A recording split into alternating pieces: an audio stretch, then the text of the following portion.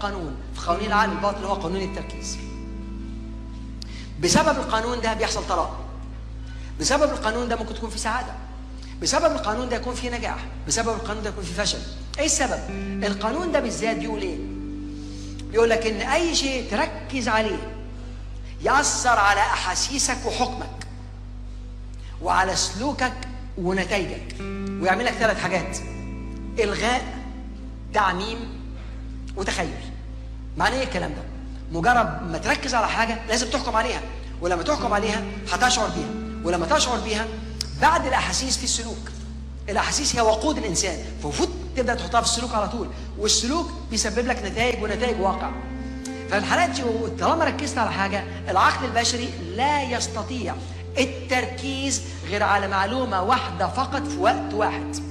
فالوقت طالما بتركز يبقى المخ لازم يلغي أي حاجة تانية ويعمم لك دي عشان تعرف تفكر فيها كويس ويخليك تتخيلها على خط زمنك في المستقبل.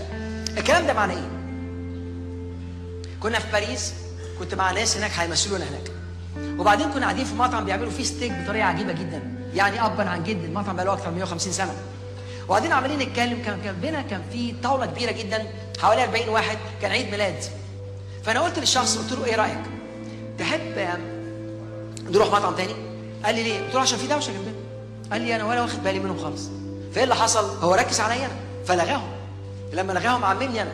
وبمجرد ما بدأنا نتكلم تاني قال لي عندك حق تعال نروح مطعم تاني. لأن طالما خليت تركيز يروح على دول لغاني أنا. ما بقاش فاهم حاجة. تعال نشوف النهارده أنت ممكن تخرج مع صديق بتحبه جدا أصدقاء بقالكوا سنين خارجين سوا وانت احاسيسك إيجابية والملفات كلها إيجابية خارجين ناكل مع بعض. وأنا متوقع هادي وقت جميل جدا معاه. ولما اتقابلنا اختلفنا. ولما اختلفنا تركيزي اتغير. فالمخ على طول لغالي كل حاجة كويسة عنه وعمم لي كل حاجة سيئة عنه وبدأ يدعمني من يوم ما كنت أعرفه. وعمل لك كمان كذا ونصب عليك هنا وضحك عليك هنا وتأخر عليك هنا. المخ يدعمك باستمرار. وتروح ماشي ما أنتش طايقه وتتخيل نفسك في المستقبل وأنت بتتفاداه. وبعدين يكلمك في التليفون. إيه يا راجل إيه اللي زعلك؟ يعني إحنا أصحاب من زمان وبعدين أنا أنا ما أقصدش. إيه اللي حصل؟ تروح لاغي كل حاجة سيئة عنه وتروح معمم كل حاجة كويسة عنه وتتخيل نفسك في المستقبل وأنت عاوز تشوفه تاني من أول وجديد وبعدين تخرج معاه تاني من أول وجديد يروح مديك على قفاك كمان مرة. تروح لاغي كل حاجة كويسة عنه تروح معمم كل حاجة سيئة عنه وتتخيل نفسك في المدرسة وأنت مش طايقه والناس شغالة على كده. رايحة جاية ما حدش فاهم. لكن لما تفهم القوانين دي تعرف إزاي تتحكم في حياتك. اتنين متجوزين. أول أسبوع آخر حلاوة. طبعا أنا بسميه أسبوع الكذب ده. كله بيكذب على كله. يتكلم أحلى كلام ويحط أحلى برفانات. استنى في دورة اسمها الدورة الزوجية. في حد حضر لي العلاقات اللي جاية عملتها في القاهرة؟ مرة عملتها مرة. عملتها مرة واحدة في القاهرة.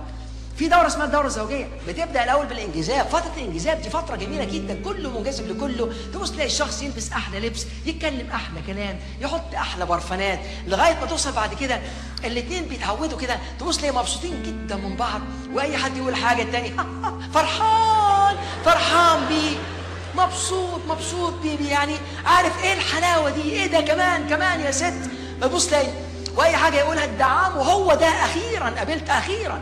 أخيرا وتلاقي الشخص التاني عنده كل شعرة في ناحية عامل زي المشعر المهم دي فترة الإنجذاب. فترة الإنجذاب دي أنا ببص ألاقي أنا أول ما كنت أول ما بدأنا يعني أول ما عرفت مراتي وكانت هي بتلعب في نادي سبورتنج في اسكندرية في نادي سموحة. وأنا كنت بلعب أنا كنت بطل مصر بينج بونج.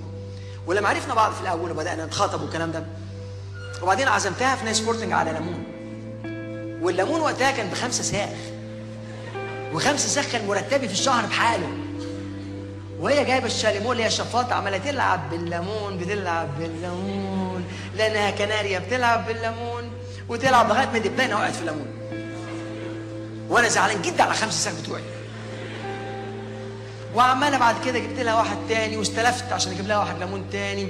وبعدين هي عمالة تشفط ترجعت مش قادرة لأن معدتها صغيرة. دلوقتي أجيب لها واحد ليمون راح. في إيه؟ ده؟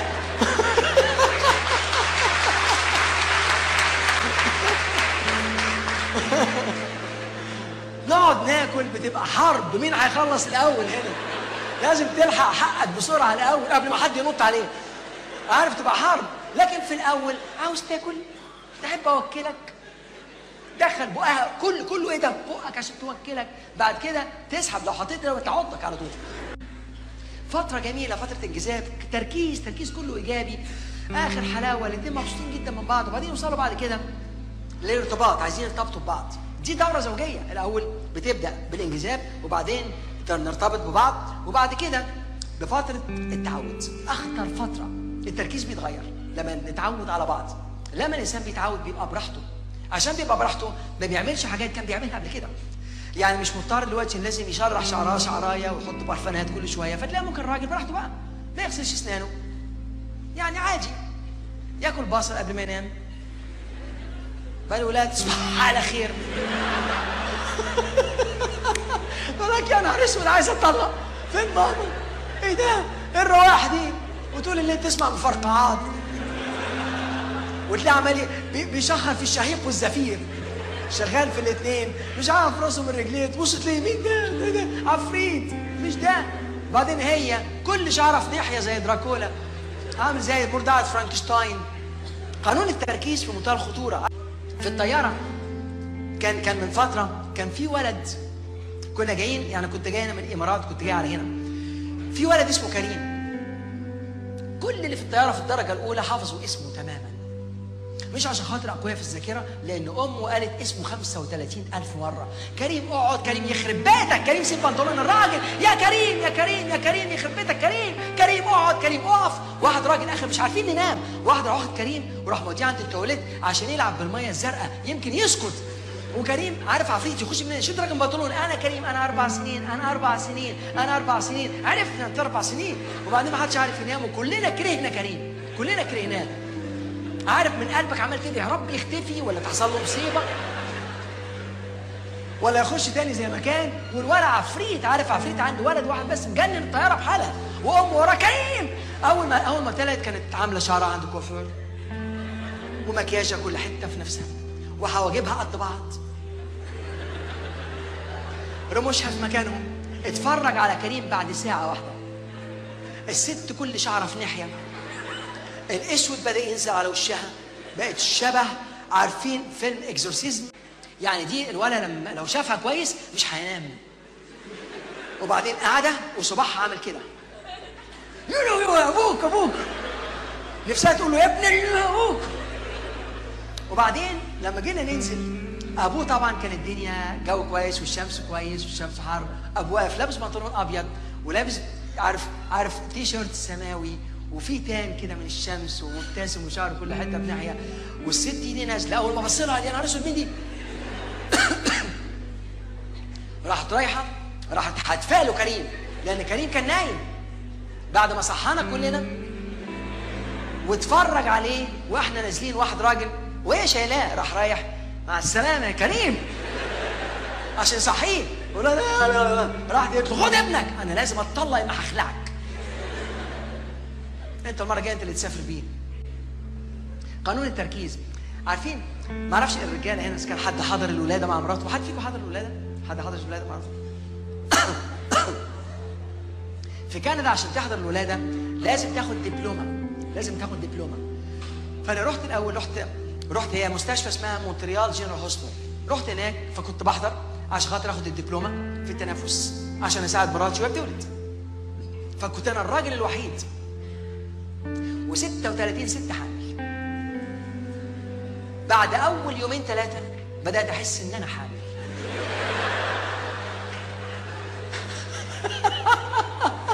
وكلهم عمالين يسألوا أسئلة حوامل. دكتور اللبن دكتور السمناك. أنا قلت هضيع وقتي بدأت اساله طب البامبرز نعمله إزاي؟ ما لازم استفيد أنا كمان. وبعد ما هاروني وقطعوا نفسي وتقول لي في الأول لما تخش مع مراتك خد نفس عميق قول لها خدي نفس. دي شغلتي. يعني إبراهيم ال coach يعني وبعدين لما تيجي تقرب خد بالك لأن لما تقرب التنفس مختلف. زقي زقي! يلا يلا! دي كانت شغلتي. ولما هاروني 10 أيام وخلاص خدت الدبلومة امال عملت قيصرية.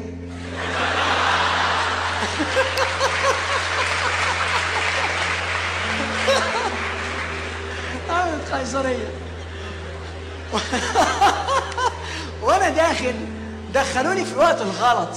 فكان في دكتور اسمه أسود مصري ما شاء الله عليه فدخلوني في الوقت الغلط دخلوني وهو بيذبح. أنا ما شفتش عملية الراجل بيذبح مراتي. فدخلت له بقول له بتعمل إيه؟ قال له إيه ده اللي دخله دلوقتي هنا؟ رحت واخد إيده مطلعها له فوق شوية. طالما بتذبح بتذبح يلا بقى. بس سمي. وبعدها بعدها بدقايق طلعوا لي واحدة. مفيش ثواني طلعوا لي الثانية شبه بعض بالظبط. إيه ده؟ هعرفه. يعني التركيز بقى مش عارف مين فين. طب أنا أسميهم إيه؟ طيب؟ اعرف أعرفهم إزاي من بعض؟ وكانوا وحشين جدا. يعني العيال بره حلوين. ودول وحشين جدا. فقلت لهم دول وحشين. إيه ده؟ فأسود الدكتور أسود قال لي هننضفهم لك دلوقتي يبقوا كويسين. نظفوهم كانوا أسوأ من الأول. فأنا خدت الاثنين ورحت الأمان مراتي وفي وسط راسها عشان تجمع المخين الشمال واليمين تركز كويس على اللي أنا هقوله. قلت لها بصي عندنا سحليتين لازم نربيهم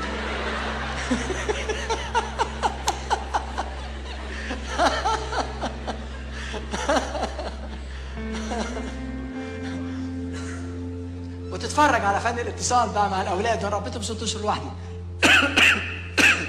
فقانون التركيز ممكن جدا تكون متجوز ومركز على كل حاجة إيجابية فلازم تلغي كل حاجة سلبية.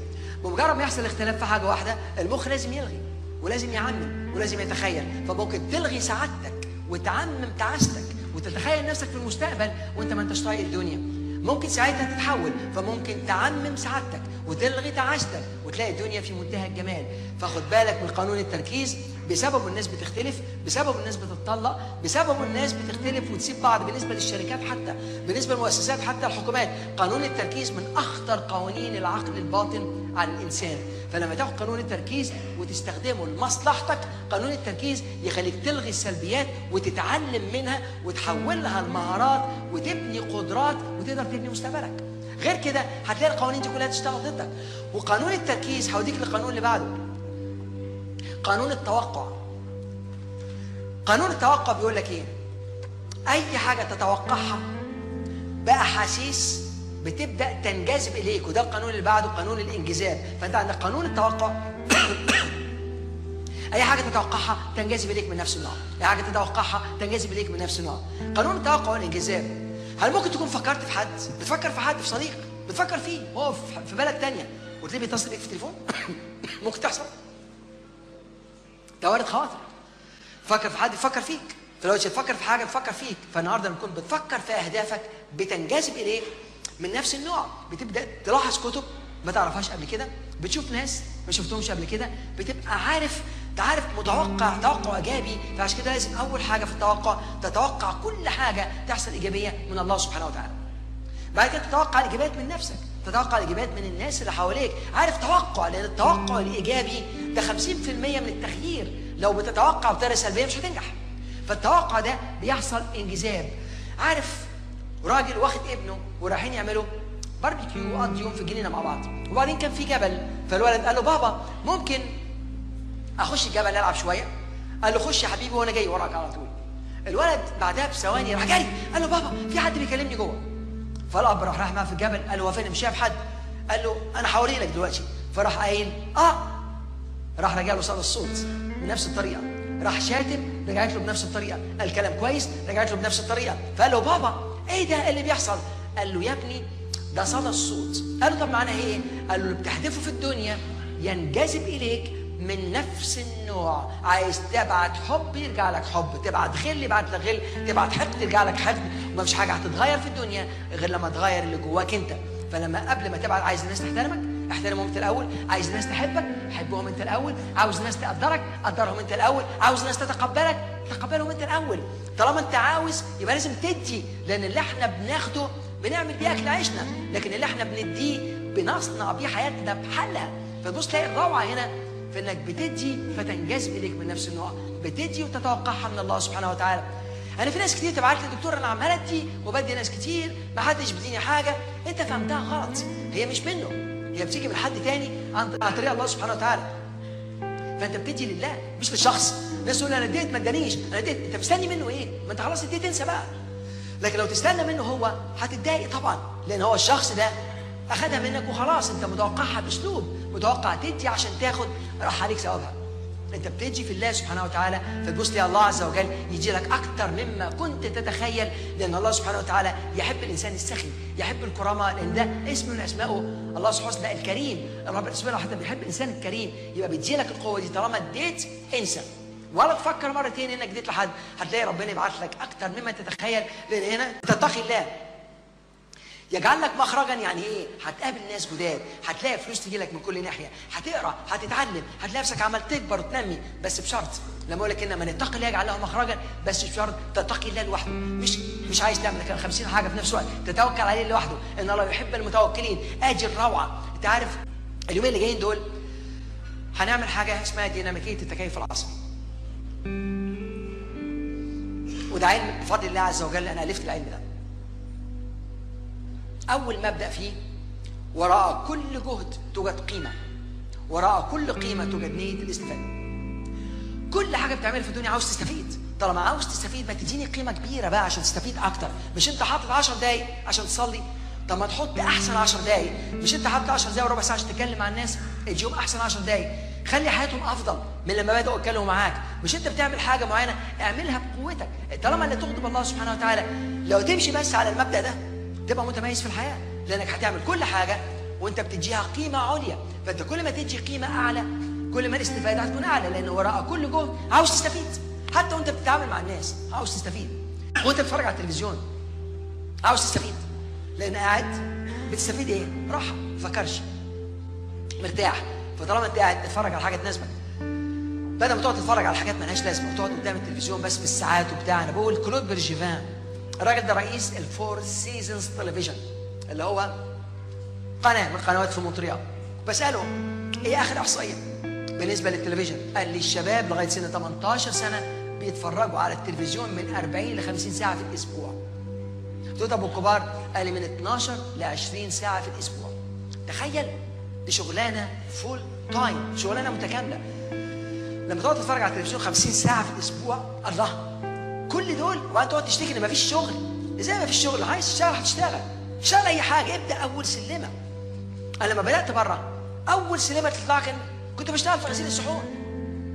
ما عمري ما كنت بغسل الصحون كانت أول سلمة في الإدارة العليا وبتطلع اللي أنت بتعمله اعمله صح. اعمل حط كل قلبك فيه. تبقى متميز فيه. ربنا بشرك إن الله لا يجعل اجر احسن عمله وكل يوم حسن نفسك. للخطوة اللي جاية. حسن نفسك للخطوة اللي جاية. جهز نفسك للرؤية. بس ركز على دي. اعملها كويس جدا. وبعدين اللي بعده. أنا في وقت من الأوقات كنت بشتغل مساعد باسبوي يعني الباسبوي ده اللي هو بينظف الترابيزات والكراسي فأنا كنت مساعده. هنضفه هشيله. كنت أنا مساعد الباسبوي بعمل له إيه يعني؟ عملوا لي وظيفة. أعمل له إيه طيب؟ يعني أنا مساعد بتاعه. طب أعمل له إيه؟ يعني هو بينظف ترابيزات وكراسي. أعمل له إيه أنا؟ انضف له جاكيتة؟ امسك له ديله اعمل له إيه بالظبط؟ فده كان كانت وظيفة. آه فعارف بتبدأ من تحت الصفر اشتغلت في وقت من الأوقات. كنت بشتغل حارس. أنا كنت بشتغل حارس. من الساعة 12 بالليل للساعة 4 الصبح. صغير أنا كنت بشتغل حارس وكان داخل كل الحرامية. كنت أدخلهم. آه اتفضل. الخزانه الخزنه هناك. عايز في الشغل؟ جنبها على طول. كنت بشتغل حارس. وبعدين كنت بشتغل في ال Holiday Inn في لوكاندا من اللوكاندات كنت بشيل ترابيزات وكراسي. وبين البينين كنت اجري جاري على البيت عشان أجيب لمراتي الأكل والسملاك والبامبرز عندي اتنين كانوا شغالين حريقة. وكنت بين كل ده كنت أروح جامعة كونكورديا وادرس وقعدت على كده ثلاث سنين. لما عارف بتبقى لغاية هنا ولكن متكل على الله سبحانه وتعالى. تتبع على خير الرسول عليه الصلاه والسلام وبعدين منتمي. منتمي لدينك منتمي لبلدك منتمي للناس. منتمي. عارف كلمة انتماء دي؟ كلمة قوية جدا. الناس بتسافر بره يغير اسمه عشان يشتغل. بدل ما كان اسمه سمير يسمي اسمه سام ويلبس شورت ويمشي يجري في الشوارع كده وعنده كرش مش لايق عليه. شكله وحش. وبعدين يتكلم يعوج بوجه ولا يعني بقى خواجة. واحد عايش بره ست أشهر جايبينه برنامج في التلفزيون. شفته. بلد من بلاد الخليج. وبيسألوه سؤال. قال لهم أنا هحاول أفتكر العربي. يا حبيبي تفتكر العربي بعد ست أشهر؟ أنا بقالي 30 سنة بره. رفضت إن أنا أشتغل في بلد من البلاد لأن قبل ما أسافر وأروح هناك على طول طلبوا مني إن أنا أعملها لهم بالفرنساوي ورفضت. مش عربي أنت قال يلا أتكلم بالعربي. نتكلم معاك باللغة العربية لما أكون في فرنسا أتكلم فرنسي بالإنجليزي أتكلم إنجليزي ألماني ولكن معاك هتكلم بالعربي. أكلمك بالإنجليزي يا فشخرة مش هتفهم حاجة أساسا يعني. لأن كلك آه والله ومش فاهم حاجة. خلينا نتكلم اللغة اللي إحنا نعرفها أحسن. أنا في وقت من الاوقات في حتة الانتماء جايين لي في كندا.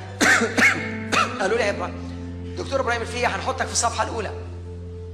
مع ميشيل لانجولوا وجان مارك شابيو وروجيه سانترير من أقوى ثلاثة موجودين في كندا قالوا لي اخترناك نحطك في الصفحة الأولى في غلاف مجله اسمها PME أو petites moyennes entreprises اللي هي الشركات الصغيره والمتوسطه والكبيره هنحطك في الصفحة الأولى معاهم بس بشرط تغير اسمك.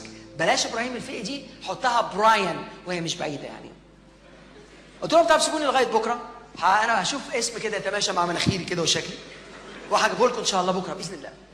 جيت لهم تاني يوم جبت لهم اسم رباعي. إبراهيم محمد السيد الفقي عربي جدا ومسلم جدا غصب عنك. فاهم إزاي؟